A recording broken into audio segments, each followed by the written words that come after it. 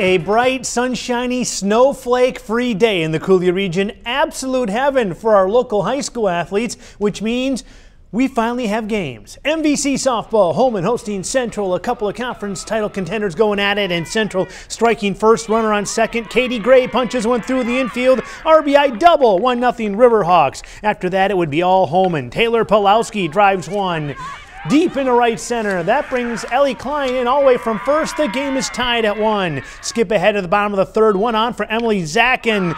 She hits a monster two-run homer. That's out of here. Holmen blows the doors off Central 14 to 2. The final.